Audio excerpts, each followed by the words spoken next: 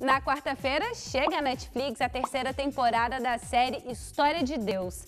A produção, apresentada por Morgan Freeman, faz um verdadeiro mergulho em uma das questões mais complexas do ser humano, que é a espiritualidade em suas diferentes formas de manifestação.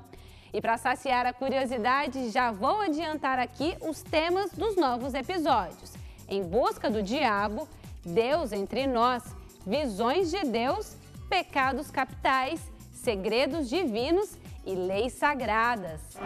Eu quero compreender esse instinto que faz parte da humanidade. Juntos faremos uma jornada através da história, da ciência e da fé para desvendar a conexão entre o homem e o divino.